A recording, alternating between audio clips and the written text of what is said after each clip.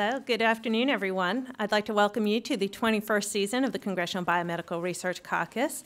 Um, I want to give uh, particular thanks to our co-chairs of the uh, caucus, and that would be uh, Representative Brian Bilbray from California, Representative Charlie Dent from Pennsylvania, Representative Jackie Speier from California, and Representative Rush Holt from New Jersey for their commitment and dedication to their ongoing support of this caucus.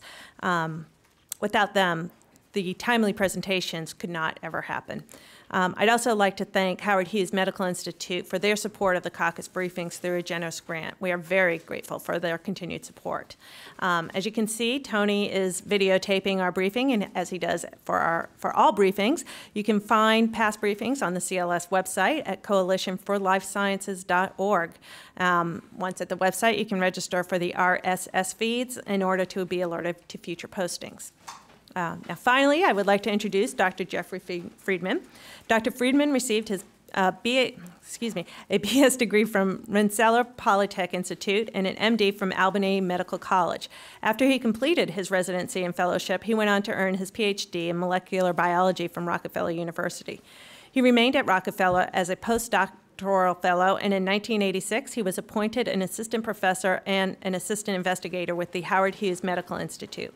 He became a tenured professor and founding director of the Starr Center for Human Genetics in 1995, a Howard Hughes investigator in 1996, and the university's first Marilyn M. Simons professor in 1999. Dr. Friedman is here today to discuss his research in the molecular mechanisms that regulate food intake and body weight. In December 1994, he gained worldwide prominence when his research group reported the isolation of the obese gene, also known as OB, in mice and humans. In July 1995, his group announced that the OB gene is responsible for producing previously unknown hormone, which he named leptin, from Greek word leptos, meaning thin. Also, he found in humans, leptin plays a role in controlling appetite, energy expenditure, and fat storage. His work in the area of obesity led to him receiving two prestigious awards in 2005. I'm going to probably mispronounce this the Gairdner Foundation International Award and Passano Foundation Award. He's also a member of the National Academies of Science and its Institute of Medicine. Dr. Friedman has numerous awards and honors based on his research. With that, I'd like to bring him up here. Thank you.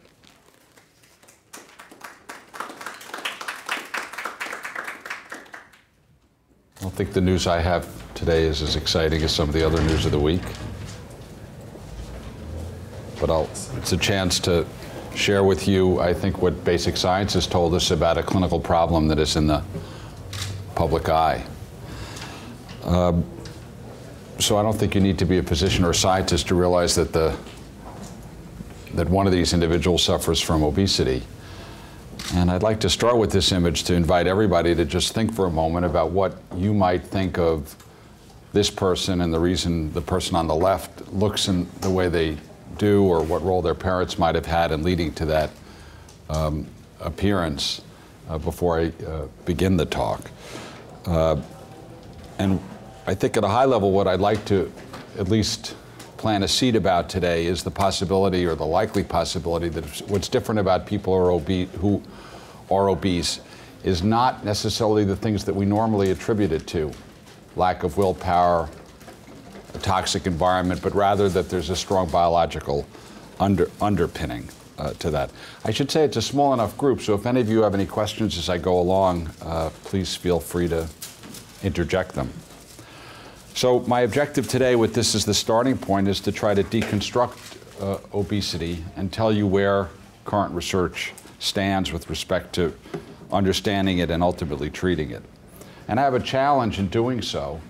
Uh, and that's because were I talking about any of these other conditions, which I'm quite certain you've heard about at previous caucuses, um, most people would, would sort of defer to the experts in the field if they were asked what causes these problems or how, how might we address them. That's not true about obesity, where everybody has a, um, I think, a set of convictions or beliefs about what causes it and how it might be remedied. And I think this is not uh, uh, inexplicable. I think it's because we each have such an intimate association with food and monitor our weights that we each have re reached sets of conclusions based on our anecdotal experiences and those of the people we care about. Now, whatever the causes of obesity or one's opinions about uh, how we might remedy it, there's no getting around the fact that it's an important public health problem, a major health problem. For reasons we don't understand, obesity increases the risk of a set of disorders diabetes, hypertension, heart disease, forms of liver disease, and even some forms of cancers that, cancer that are in aggregate the major causes of morbidity and mortality in the Western world and are growing problems in the developing world.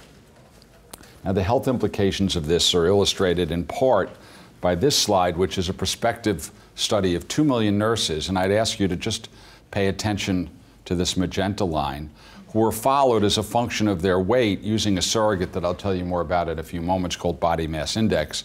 For the purpose of this slide, just consider that as body mass index increases, so too increases obesity.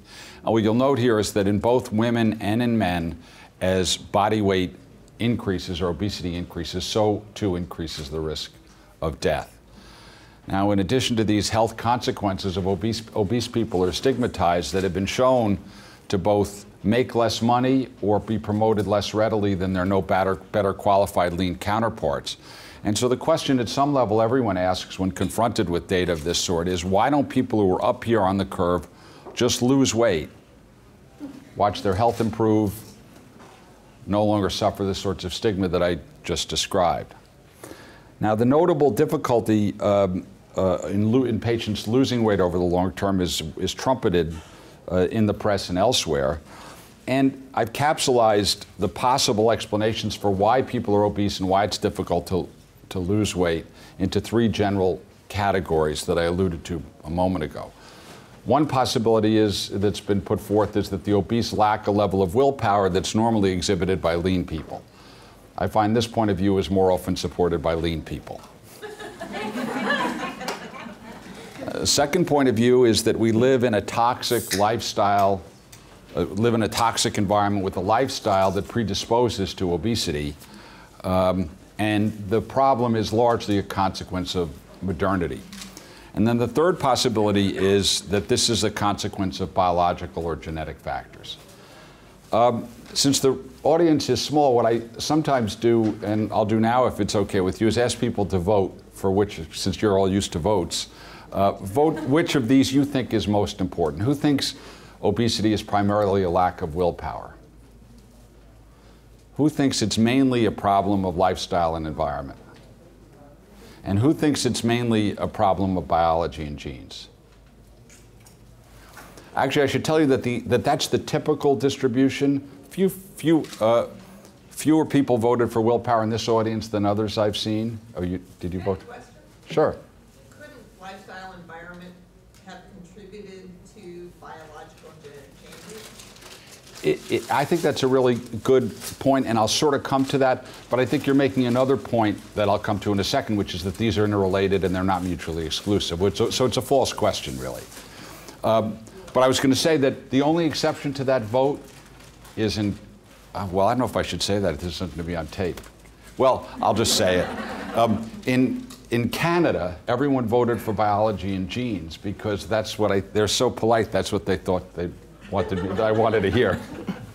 anyway, um, I think the point that was just made is correct. If we were talking about any other problem, uh, most people would gravitate to the idea that there might be a biological basis that can be modified by, modified by environmental and behavioral adjustments or, or differences. But for, I think, reasons that we'll come to at the very end when I give you some quotes from the general public about the implications of our work, discussion on this topic is, is polarized, and people tend to gravitate to a much greater extent to one or the other, or the other possibilities to the exclusion um, of the other two. So what I want to do now is briefly deconstruct for you what I believe the case is for each of these as, as to contributing to differences in weight, starting with willpower. Now, the notion that willpower is important, while most of you didn't vote for it, is pretty evident in our culture. Uh, the message uh, is, is sent all over the place that people need to eat less and exercise more, ignoring the deeper question, which is why do people eat more or less? I think, it's, I think we have a notion that we can consciously control our intake, and that by consciously eating less or exercising more, we might avoid this problem. Now, what this sort of set of recommendations, which are pretty rampant, ignore is the fact that the vast majority of diets are ineffective for the long term maintenance of weight loss. And the number is probably closer to 95% of people who lose substantial amounts of weight return to that pre dieting weight within one to two years. In fact, I got a, a, a call um, uh, in the last year that I was actually heartened by from the producers of the Big, big Biggest Loser. Um, because they were very concerned about these people and they had an, uh, an, emotional investment in seeing them do well, and they were concerned because most of these people do return to the weight they started at. Now, there's a very good reason why diets fail, and it has to do with the fact that the magnitude of our or bioenergetics, as it were, is so great as to exceed the ability of our conscious selves to monitor it. Let me explain what I mean. All living organisms obey the laws of thermodynamics, which means that energy has to be conserved. And so what that means is if our weight is going to be stable year in, year out, which it is for the vast majority of people, it means over that interval our food intake would have been precisely balanced against our energy expenditure. Now, in the first case, that means that over the last year, if your weight didn't change, and I'm guessing most of your weights didn't change unless you were actively trying to change it, you would have balanced precisely a million calories in against a million calories out. This numerology is even more impressive if you look over the course of a decade, where individuals will consume tons worth of fat, protein, and carbohydrate, converting, uh, converting that to weight, uh, work, uh, waste, heat, and work, knowing that weight changes in most people less than 10 pounds per decade at most. So if you do a back of the envelope calculation, what you realize is that that, there, that the amount, number of calories you took in had to have been balanced precisely against the number of calories you burned with 99.6 or greater percent precision. This is logs better than nutritionists can do looking at a plate of food and telling you how many calories are there. And yet it seems to happen naturally for most people. In fact, this level of, of precision greatly exceeds the error rates on the for the calorie counts on the food you eat. This is from a JAMA article showing that the error rates could be as high as 85%, logs higher than nature appears to take care of uh, quite on its own. And I'll point out to you that actually it's the big food producers that typically have the, high, the, uh, the, the, the, best record in terms of uh, precision of calorie counts. Now, this sort of notion that there are vast numbers of calories that are balanced against energy burned is suggests the idea, suggested the idea that there must be a biological system that counts calories for us. After all, our nutrition is absolutely required for survival of the species. And the notion that there's a basic drive that um, counts calories is easy to demonstrate from animals um, in two sorts of studies. In this sort of study, what you do is you put a tube uh, into the stomach of an animal and overfeed it for a period of time. And while you forcibly overfeed it, the animal gains weight. But during that time, it voluntarily eats less. And once you stop force feeding it, the weight of those animals goes back to that of a control group. As if the animals somehow knew that they'd been made fat and now uh, uh, uh, initiate a set of adjustments to return their weight to some predetermined level. And the same is true if you food restrict an animal for a period of time, of course it will lose weight, but as soon as you restore the food, the weight of those animals returns to that of a control group, much the same as most patients who lose large amounts of weight. So there's pretty good evidence that willpower can lead to weight loss over the short term, but over the long term, its, its efficacy is pretty limited. What about lifestyle and environment? Well, this is the sort of quote you would often read, one would often read about in the paper. No age has ever afforded more instances of corpulency than our own. This was Thomas Short in 1727. Now, what this illustrates is, first of all, that obesity is not a new problem. And second of all, it, it amplifies the fact that I think most people consider it to be uh, an, an, especially prevalent problem today. An epidemic, as it's often referred to.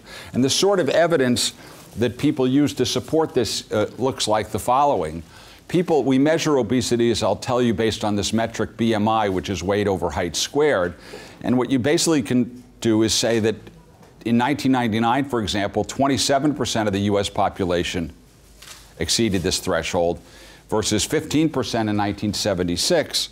And so people argue our genes haven't changed over this interval, so it must be the environment. First of all, this premise is wrong. Gene frequencies can change very rapidly in populations over a short period of times, but that's not actually the point I want to make.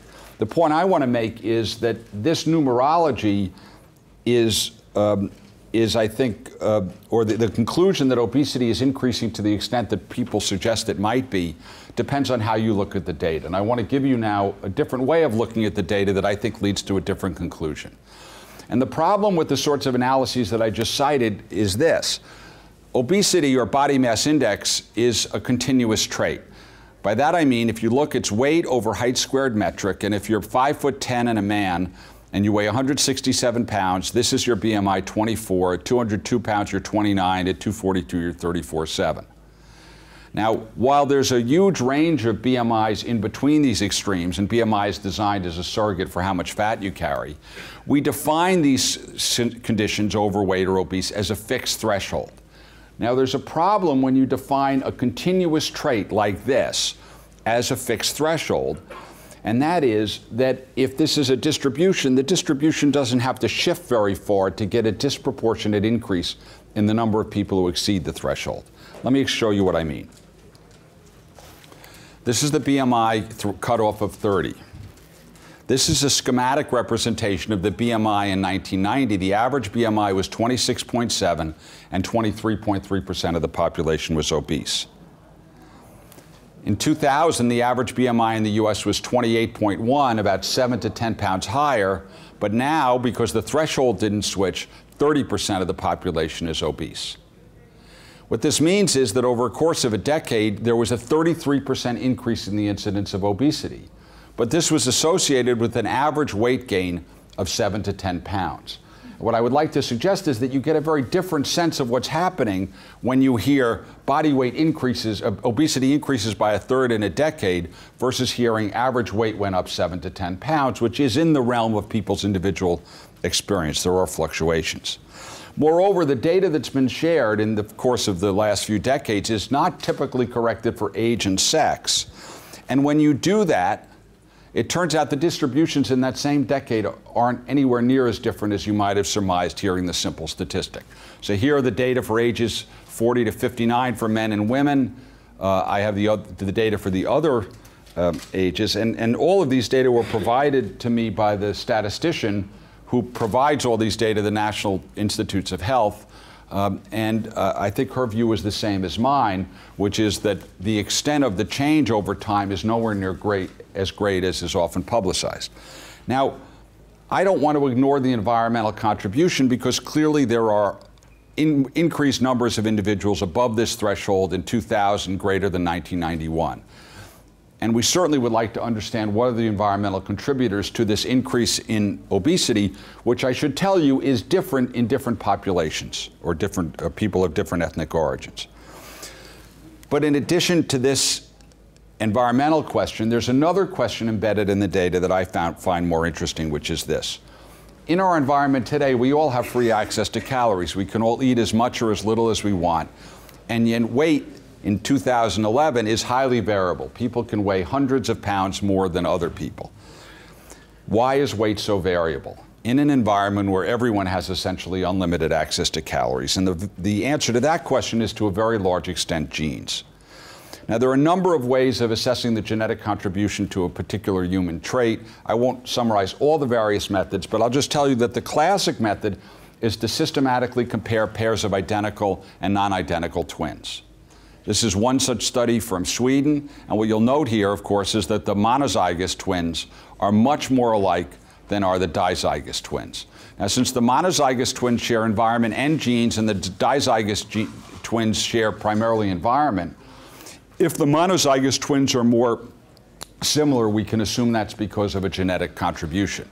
Now, some people say, well, it may be that twins share a more similar environment, but studies of this sort have even been done in, in identical twins who've been reared apart because of adoption. And the conclusion is the same. This is a very, uh, uh, this, this trait has a huge genetic underpinning. In fact, the heritability uh, and I'll define what that means more precisely now. It means the extent of the variation that can be attributed to genes for obesity is greater than that for many other traits that we, consider, we generally consider to have a genetic basis. Greater than schizophrenia, diabetes, hypertension, alcoholism, heart disease, and exceeded only by height. Now, the objective of scientists, or many scientists and work you may have heard about, is to try to understand what is the nature of these genes. And by understanding the nature of these genes, can we learn more about the system that regulates weight and accounts for obesity? To illustrate the power of these genes, I want to return to the image that I began by showing you of this young boy who was described by Steve O'Rahilly and colleagues in Cambridge, England. Um, this child was of normal weight at birth, but he began to develop morbid obesity in infancy. He overate voraciously and was already pre diabetic at the age of four when he weighed 90 pounds. Now, this child came from an inbred pedigree. His parents were cousins, and this is often an indicator that there's um, uh, uh, uh, associated with genetic alterations. And so it was the case that this boy had a, an, an equivalently affected eight year old cousin, girl cousin, who weighed 200 pounds. An eight year old child weighed 200 pounds, which is what I weigh. All right, 210 pounds, but. It... now, O'Rahilly, when he saw this appearance, noted that there were features that this child shared with a strain of animals that we've been, we'd been studying for almost a decade and which had been supported by NIH both at the Jackson Laboratory, it was first identified, as well as supported our efforts to, uh, to study it further. This is a picture of the OB mouse. It's obese as a result of a defect in a single gene. And so the only difference between this mouth, mouse and its sibling litter mates is, um, uh, is a defect in a single gene that weighs it, leads it to weigh about three times normal and have five times as much fat. And similar to the children I just described, this mouse ate voraciously. Now, my laboratory had set out, in part with NIH support, uh, to identify this gene and in 1994, we identified the gene as encoding a novel hormone, which, as you heard, we named leptin.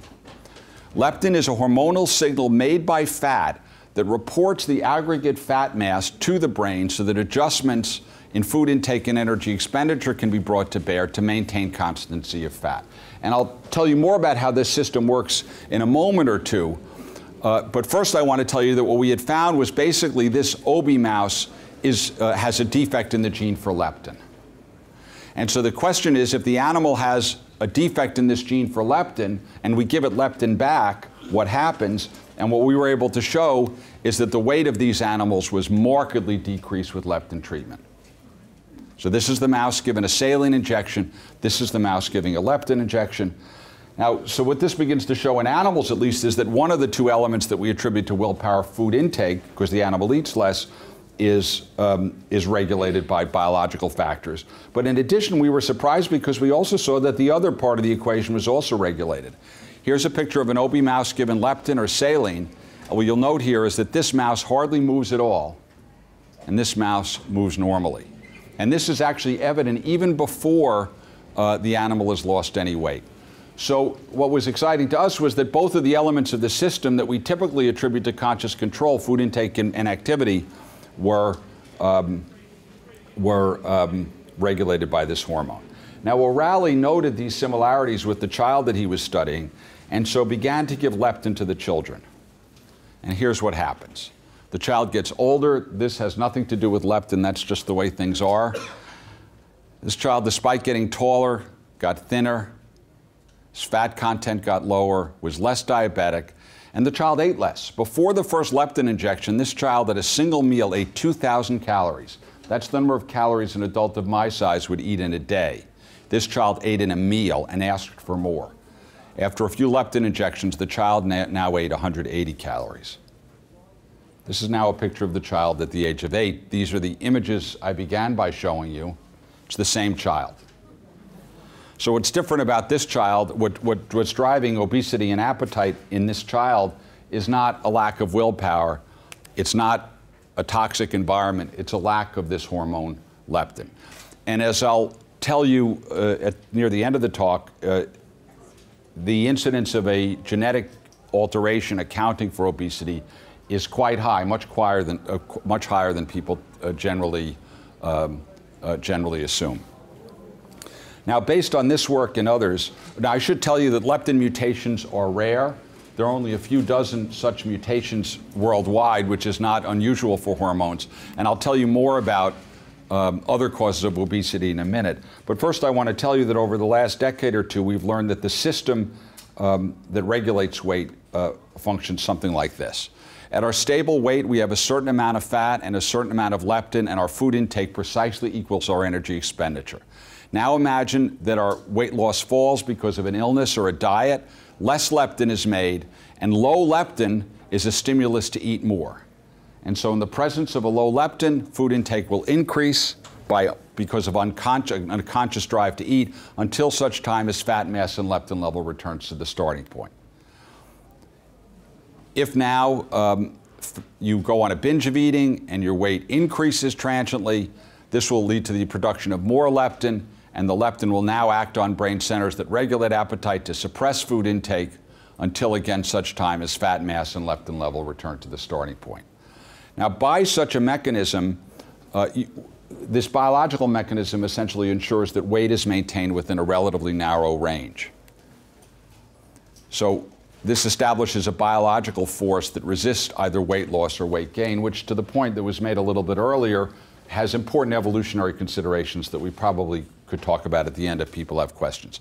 Now, I'll come to in a minute the fact that we don't believe leptin is the only factor that regulates weight, but nonetheless, it sets up a biological force that's critical for regulating food intake unconsciously in all mammalian species, including human. Now, what's wrong with the leptin deficient child is that he has a defect in the leptin gene. So, so the fat doesn't make the hormone. This child actually is obese because he thinks he's starving, and so eats more, burns less, makes more and more fat, but can never make the signal that shuts the system off.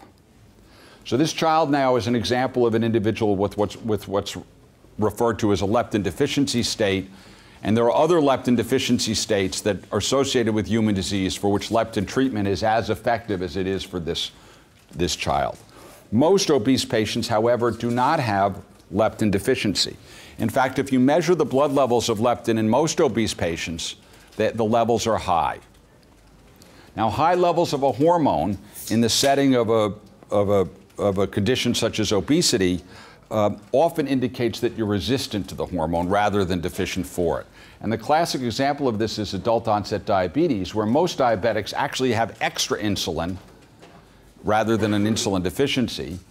Um, and what this means when you have a high level of a hormone is that the hormone you make doesn't work well enough for some reason. And the way this leads to obesity is something like this. Imagine you have a certain amount of fat, but now there's a block to leptin action. As was evident with the child, you'll, you'll eat more, burn less, make more fat, and make more leptin.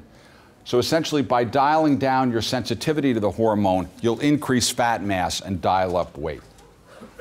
So the question that, that we're all interested in, as I'll come to, is well, what regulates leptin sensitivity? But before telling you the answer to that, what I want to tell you is that, that you might also ask the question well, what happens if you give extra leptin to, to patients? Does it do the same sort of thing for, for people in the general population with obesity as it does for the leptin deficient child? And that question was first asked um, 15 years ago, and there was reason to believe back then that there were, uh, in this, this experiment, what's done is patients are given leptin at these different doses, and you're asking, do they lose weight? And what you could see is that some patients lost weight and others didn't lose weight.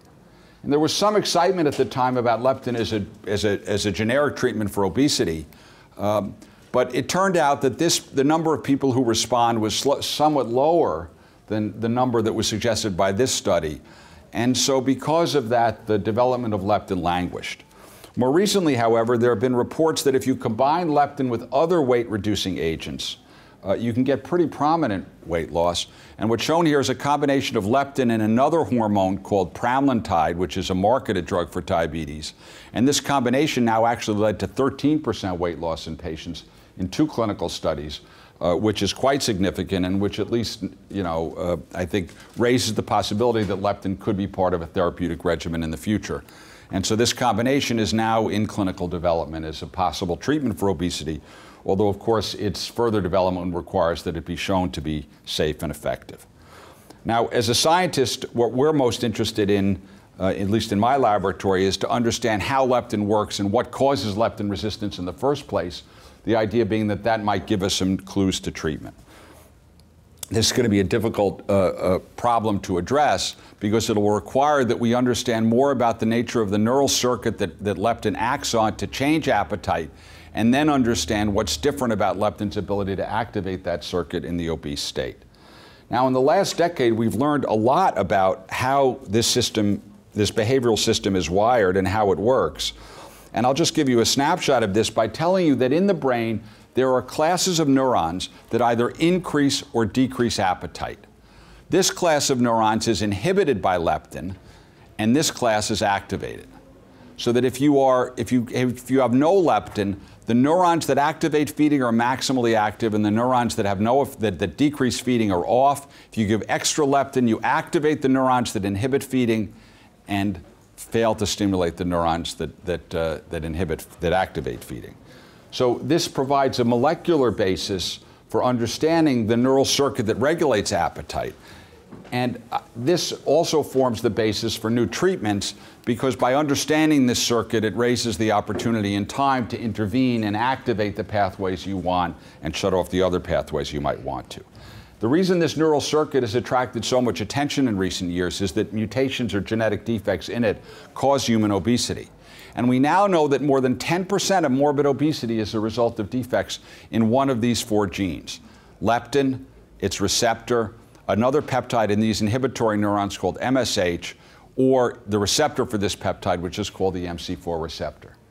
10% of morbid obesity is the result of a genetic difference that's already known. In the rest of the population, I believe there are other unidentified single gene defects of this sort, as well as in other patients, a combination of genes that account for the high heritability I shared with you. So when I say 10%, what I mean 10% of morbid obesity is a result of a defect in only one gene rather than a combination of genes.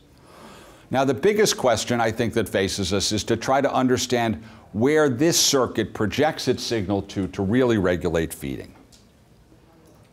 So we have a discrete number of cells in a region of your brain known as the hypothalamus that change food intake. What happens in between? And I raise this because feeding is a complex behavior. What this means is that many factors influence the likelihood that you'll eat, but none guarantee it. So, in addition to leptin and other such signals, sensory factors, emotional factors, and even higher cognitive factors, such as the conscious desire to gain or lose weight, are relevant to whether or not you start to eat. Not only do we not understand how complex information of this sort is represented in the brain to regulate behavior, we don't even know where it's represented, meaning where it's integrated. And so, one of the great challenges for the future will be to understand how various factors are are processed, or information from various factors is processed to make a complex decision, such as whether or not to eat. Now, while there's, there's great mystery and fodder for future research to understand this neural circuit, I want to close by telling you what, that what the science of the last 15 years has told us is that body weight is to a large extent regulated by a classic endocrine circuit or a feedback loop composed as a signal of a signal in the form of leptin, centers in the brain that process this signal, and a set of physiologic effects of that processing that regulate food intake and metabolism. This system works a little bit like a thermostat. Your brain sort of sets the level of fat you ought to have, and then, this then you sense the amount of fat you have by sensing the amount of leptin your fat produces. Now, this biological framework provides a basis for now asking another set of questions, which is how do environmental or behavioral factors influence the function of this circuit? And I'd like to suggest that if we're really going to understand how environment acts, we're going to need to understand the biological substrate on which it, it, it, um, it, it uh, has its effects. I also think that, that it, un, further understanding of this system is going to be required to develop better treatments for obesity. This is the sort of the advice obese people get these days. They should basically eat less and exercise more. This advice was put forth by Hippocrates 2,000 years ago.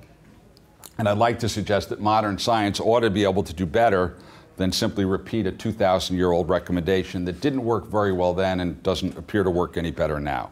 So, rather, I would like to suggest that we approach this problem the same way we would any other medical condition. Define the molecular components of the pathways that regulate weight, understand what's different about this biological pathway in the abnormal state, of course, consider how environmental, lifestyle, and develop, developmental factors influence that, the function of the system, and from this develop uh, rational therapies. This is the procedure that was adopted when, in the war on cancer, and it takes time. It took almost 30 years between the time when the war on cancer was declared and the first non empiric therapy for cancer. But I think this is the standard way in which we move forward to develop new treatments. Now, I'm often asked, well, what would you tell people in the, oh, was there a question? No. What, what do you tell people in the interim? Because obviously it takes time to use this new understanding to develop drugs. And so the advice I give to the obese are actually, this is actually the same advice I give anybody else. The focus should be not on cosmetics, but on improving health. This means everyone should exercise and eat a heart healthy diet. What's important, however, to also note is that one does not have to normalize, quote, normalize weight to improve health. You get a disproportionate health benefit with modest, achievable weight loss. This system doesn't regulate weight to the pound, it sets a range for people. And most people could get, can reap an enormous health benefit by smaller, achievable amounts of weight loss. And I think the problem that we run into now is that many people are not satisfied with this amount of weight loss because of the stigma associated with obesity.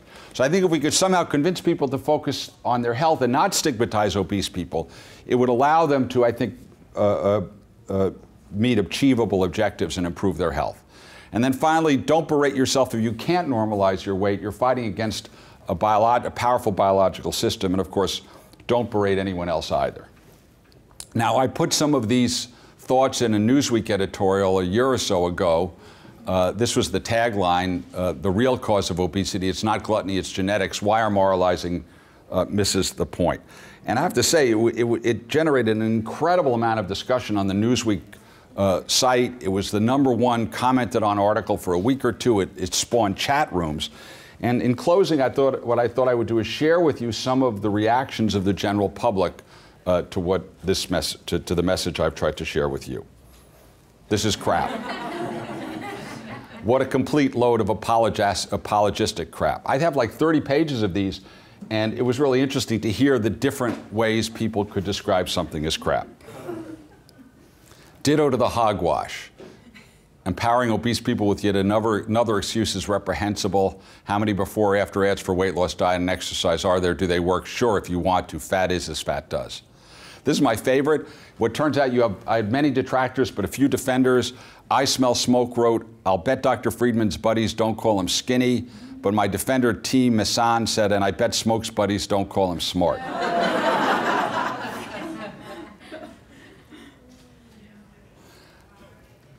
Another person wrote, I don't think how I live my life is anyone else's business. My obesity is not hurting anyone else. I often wonder if people vilify obese people because they're so visibly obvious and nothing makes you feel better than pointing out the mote in someone else's eye. And here's the the one I actually thought was, was most telling. Someone wrote, Are we animals or do we have an intellect and the ability to choose how we behave? I mean, I think everyone at some point realizes that there are many things that drive our behavior. There's what we might want to do and what our biology tells us to do. I think for I think reasons that are more sociologic than scientific, people want to believe that we choose how much we eat and how much we weigh. But I think the available evidence says that we don't have as much control over that as we would like to believe we have. Um, and that doesn't uh, mean we're animals. Uh, on the other hand, it does mean that, that we are biological organisms who obey uh, the laws of biology. So I'd like to stop here and take any questions you might have. Thank you for giving me the opportunity to talk with you today.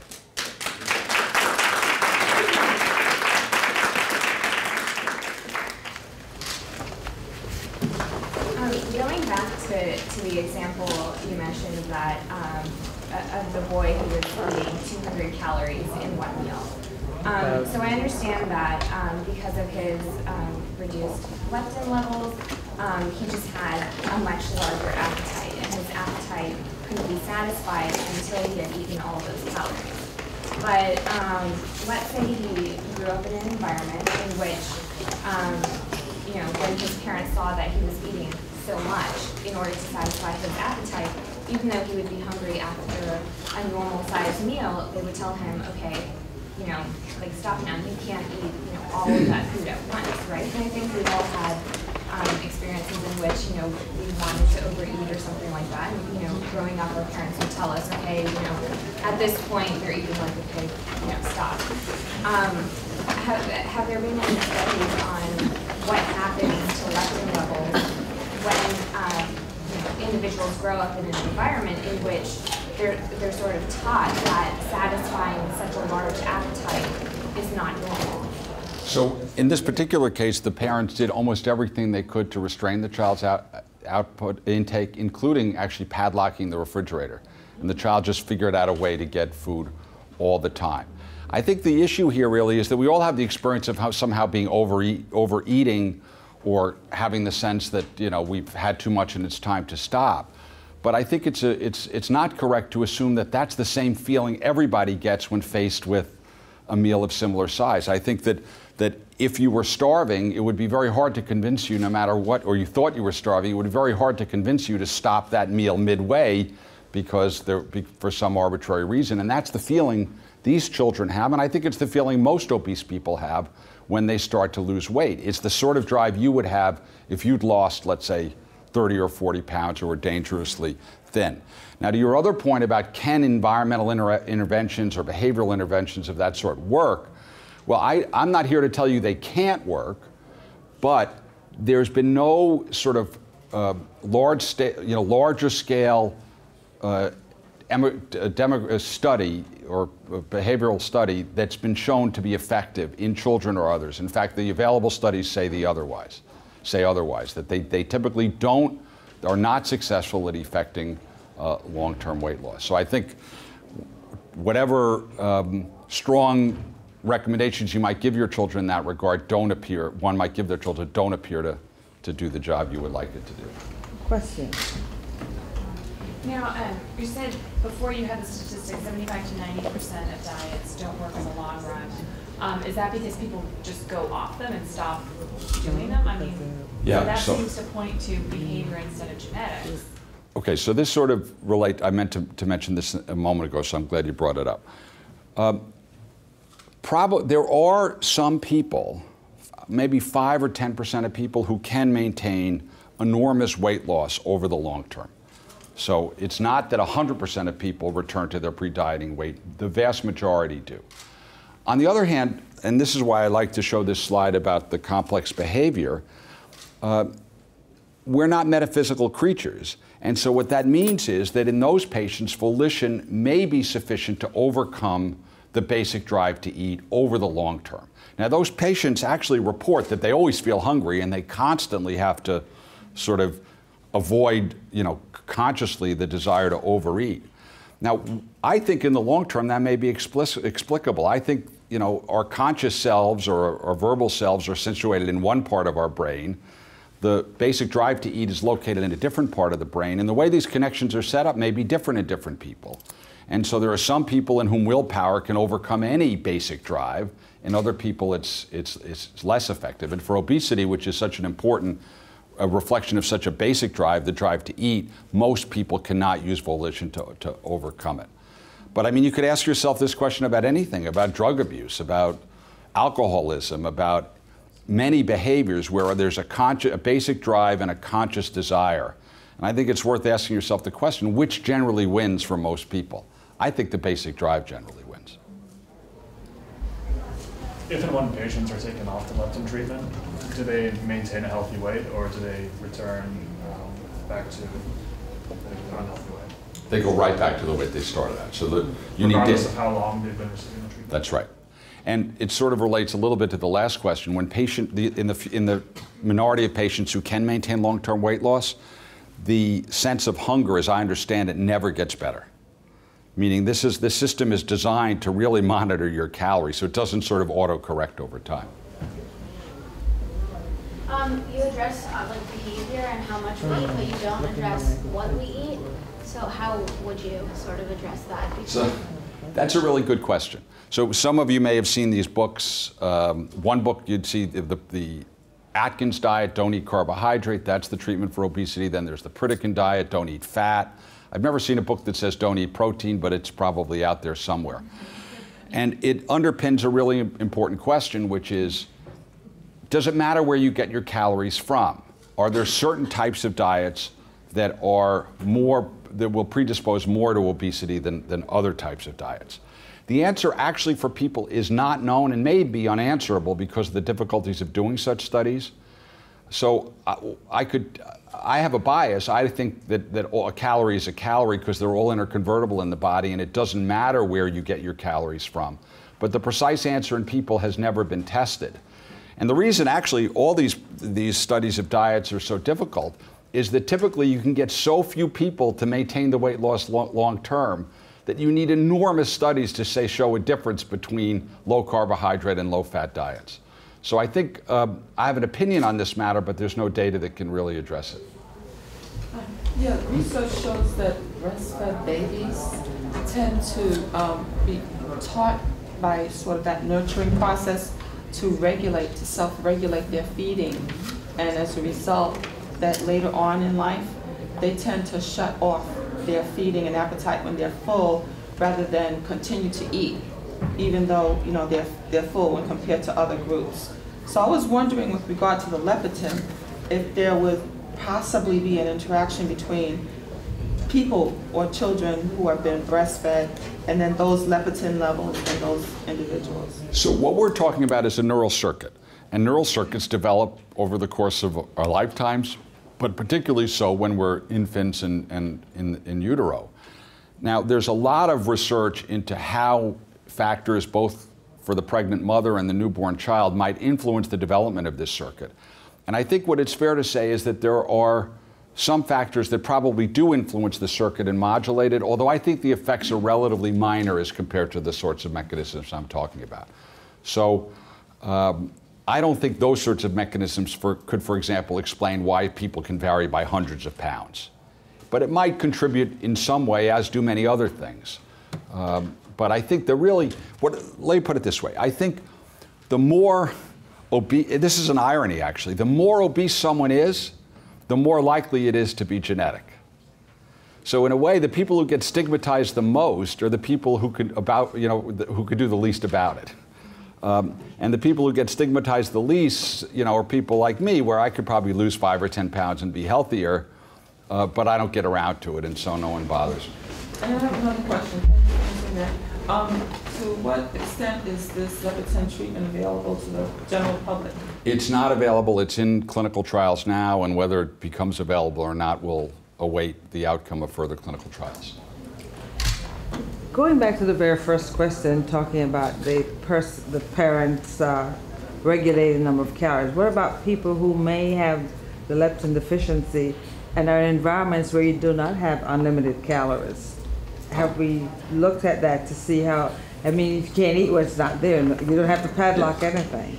So this sort of relates to this issue of you know, you know, evolution and selective pressure. So nobody gets fat in an environment where there's no food.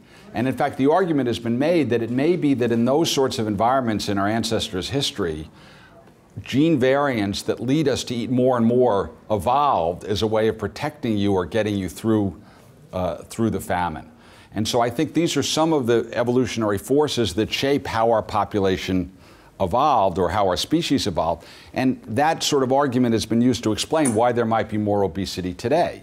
Because now a population or a species that never got enough calories is getting enough calories on a genetic background that's designed to deposit the calories because that is fat because that's what protects you from the next famine. Now with respect to the mouse, no one's ever done this experiment with the human children, but with respect to the mice, even if you food restrict those mice, they're still obese.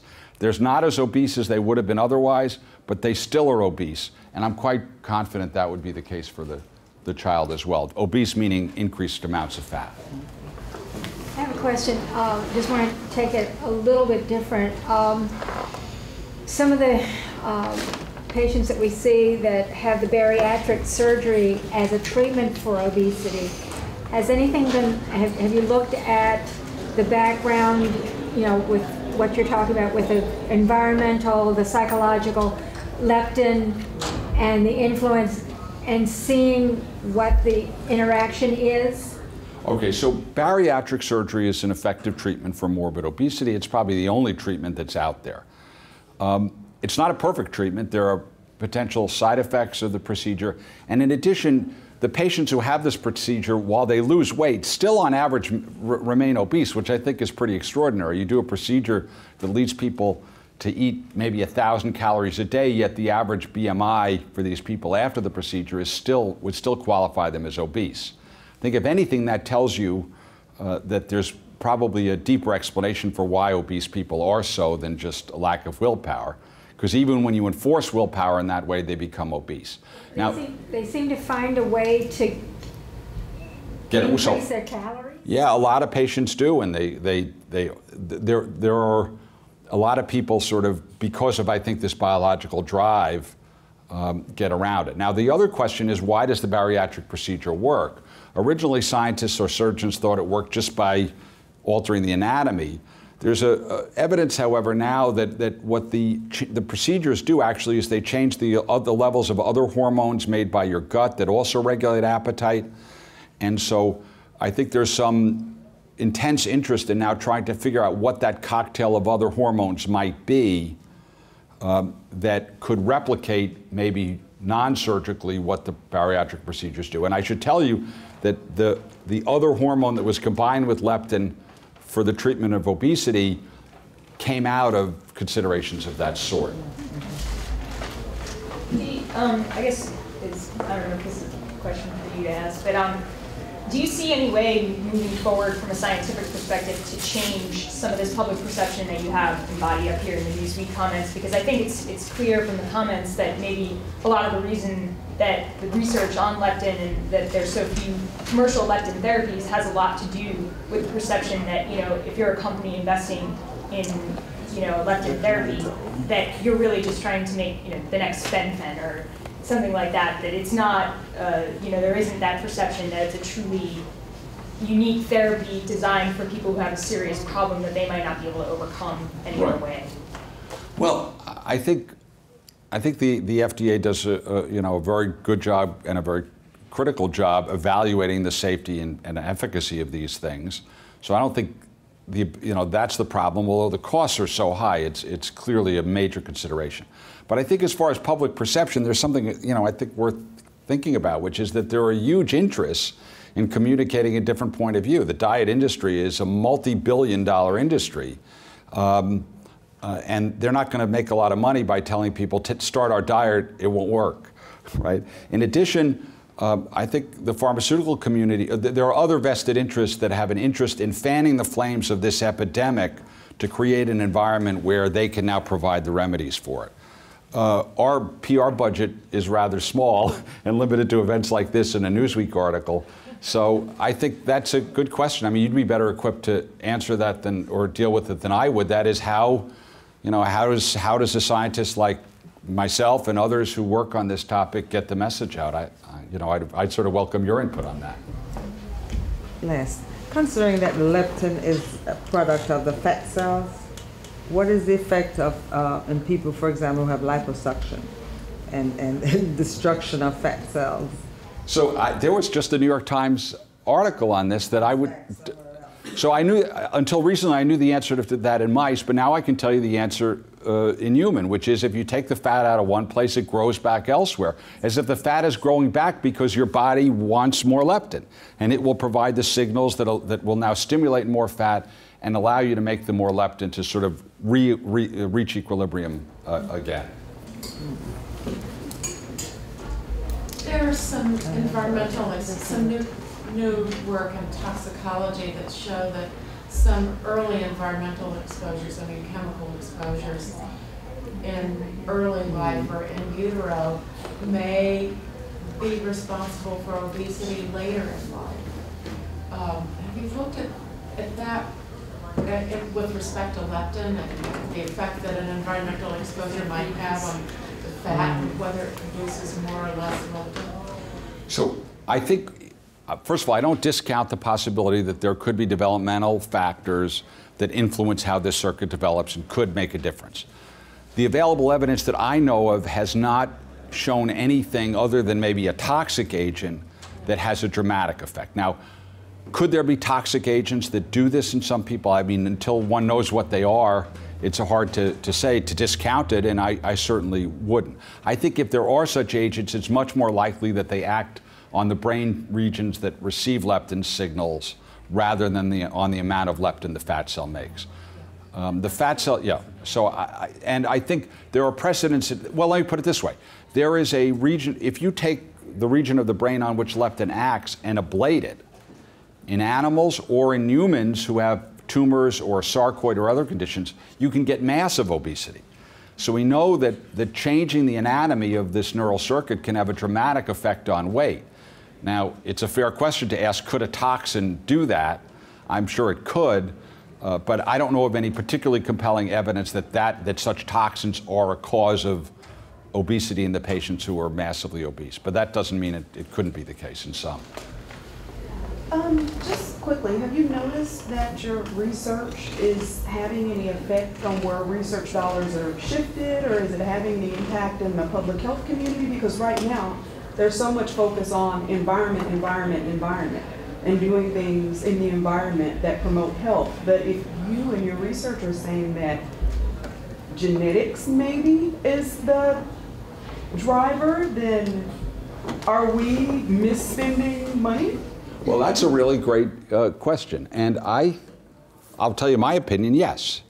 I think that, here's the thing I think everybody makes the assumption that the way to treat this is to tell people eat less, exercise more, or some variation of that as a public health policy or as a treatment regimen. I think it's a fine idea to suggest that, but getting that to work is a research question. It's not a given. For example, I've heard other stories where you monitor patients' activity, and that becomes, people just say that's the way to treat it. That's not the case. There's never been a, a public health study that shows over the long term that you can have an impact in patients. And so these are research studies. And I think that, um, uh, that it, it, it, a balanced portfolio, I should say, you know, is going to be important here. And I think the, part of the drivers of this is, is if you believe this is an epidemic that's just spiraling out of control, where in 10 years everyone's going to be obese, well, of course you can't take the normal course of, you know, research leading to therapeutics. You need to do something now. And I think that view that this is a spiraling problem of just ever increasing dimensions leads you to try to design regimens, regimens that will work in the short term or that you hope will work in the short term. But I, you know, I think over time history has taught us that the long-term view and the basic understanding is really the, I think, the, the linchpin of, of, of new treatments. And after all, I think you could ask yourself in every such case, you know, what's different about this than the recommendation Hippocrates made? Is there any effort to develop a test, a blood test, serum leptin levels? Well, I think the only reason you would do a blood test for, there is a blood test for leptin. The only, you typically won't do a medical test unless you get actionable information from it. And the only actionable information you would probably get right now is whether someone was leptin deficient. So few patients are leptin deficient. I don't, there are instances where you might want to measure it, but they're pretty small. I think there may be uses for it in the future. If leptin develops as a therapeutic, you might be able to predict response based on the blood level, but we're not, we're not there yet.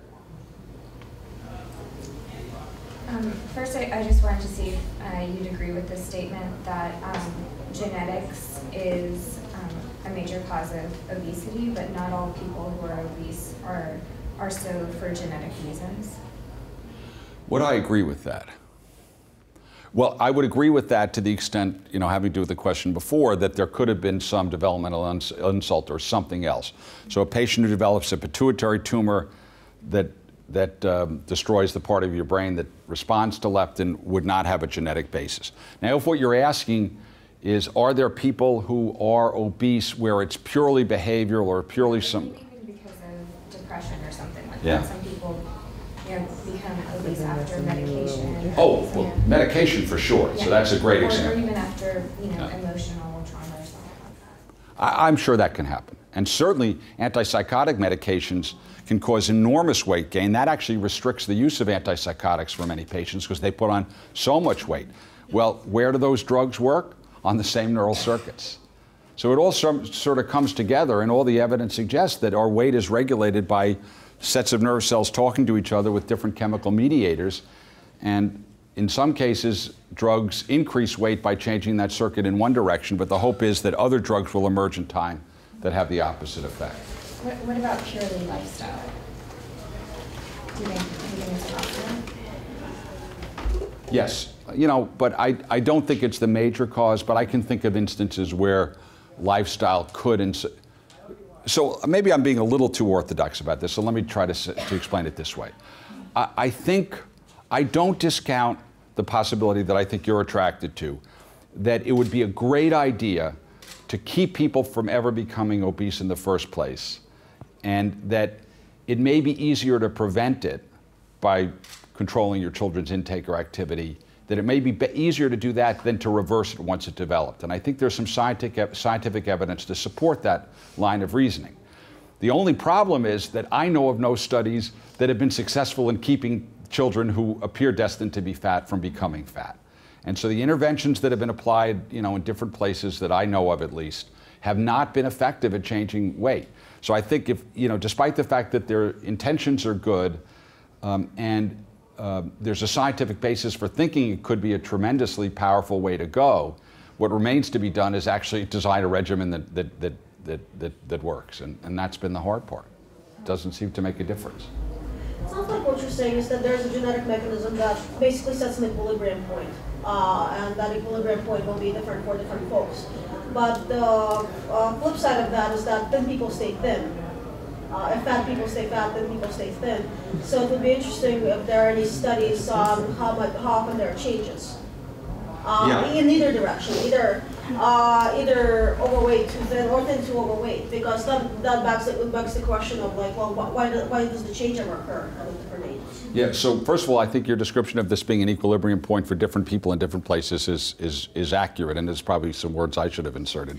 I think, I think one of the questions that, um, that always troubled me was this issue of some people who are thin all their lives and become massively obese later in life, at a point at which the system should have had a full opportunity to act. And there are explanations for that that lead me to say what I said in response to the last question, which is that it might be easier to prevent it than, than reverse it. But there are other ways this could happen too, such as um, dysfunction or, or loss of particular neural populations could also account for it. So I don't have an explanation for why someone's weight could change very dramatically over time, but I'm pretty convinced that there would that there's there will in time be explicable biologic explanations for it. So just because we can't explain it doesn't mean it's not biological. It just means we don't know enough yet. But but that may just be my bias. Oh, you didn't ask. Oh, what's the typical amount of time uh, for a relapse? Somebody who's had a, you know, excuse my voice, who's had a dramatic loss of weight. Because I had one a few years ago, and I want to know if I'm out of danger zone. Okay, so I would say, you know, it's quite likely or possible that you're in that five to ten percent, because you look pretty lean. Yeah, I Um, lost about 60 pounds. yeah.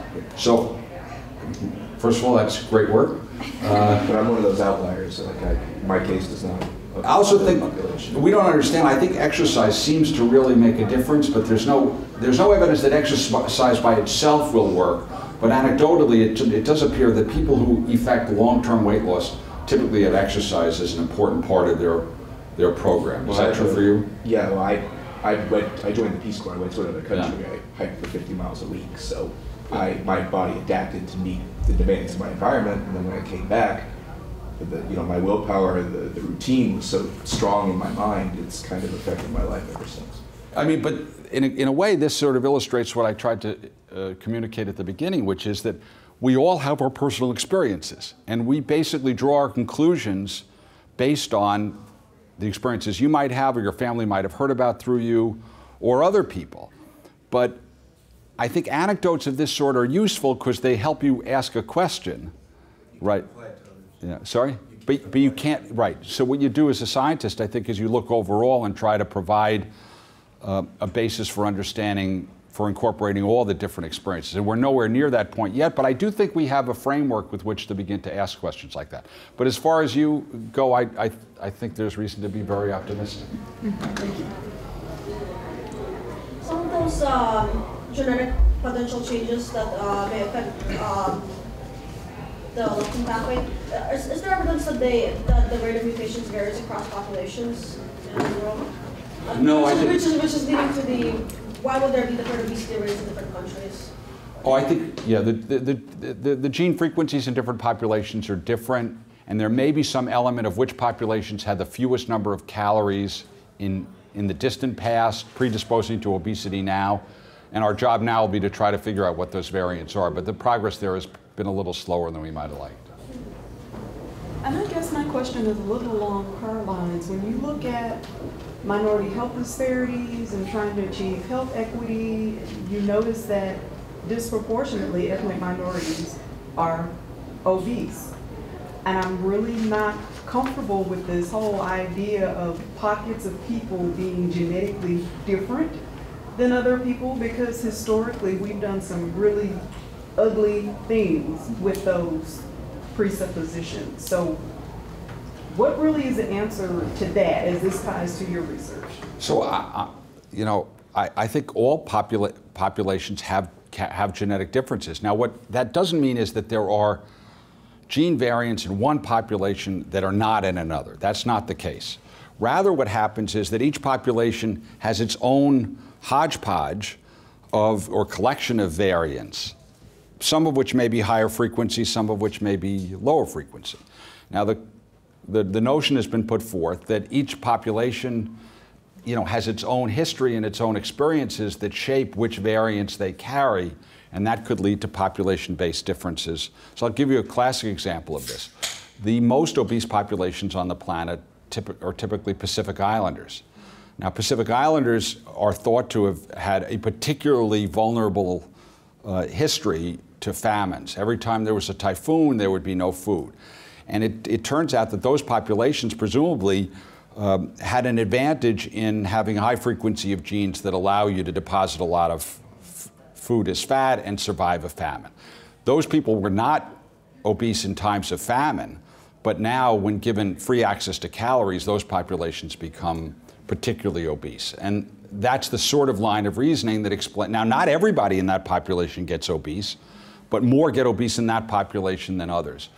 And they have their own particular history that carries with it a particular set of variants. Now, I believe that's the case for all populations. Um, each has its own history. Each carries them with it. Each has, you know, good and bad things. So I, I, I don't. So Well- we're trying to fix an unfixable problem. No. Well, I don't believe that. I believe. Would you have said? Would you have? s- Would you say that about cancer? Thirty years ago, they said no. I think we have a framework for understanding this, and the framework provides lots of opportunities. And I think there's a, a scientific opportunity now to take advantage of those opportunities. Thank you.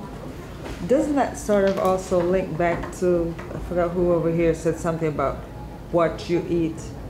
And because one of the things that I've noticed, if you look at some of the recommendations in, in, in not dieting, but in the diet for the types of foods and the source, say, of your protein or what have you. And if you try to follow some of these things in terms of the quality of the foods or what have, it's extremely expensive the so-called bad foods are really cheap. You know, two dollars for ham- two hamburgers, cheeseburgers, whatever the case may be, and people sometimes have to adjust their diet to their economic position, etc. And I, and I, I feel there's some influence there that, um, which kind of goes along what you say about the Pacific Islanders because they their diet was eat a lot in times of feast because there were times of famine. So there there's some interplay between the, the, the amount and kind of calories that you take in uh, and But let me, let me draw a distinction there. So what I'm talking about is whether the different components of your diet influence whether, how likely you are or are not to become obese. That's different than whether or not you get heart disease. We know that these sorts of things are bad for your heart health. And so I'm not advocating eating the sorts of things we know to be heart unhealthy. I'm just simply saying that, that there's no evidence that those things also by themselves cause you to become uh, uh, obese. Okay. That's why I said eat a heart healthy diet. But um, the evidence is really lacking about whether or not these different diets differentially, you know, cause weight loss, for example. There's certainly no evidence that they do. Well, Thank you, Dr. Friedman. Our time is up.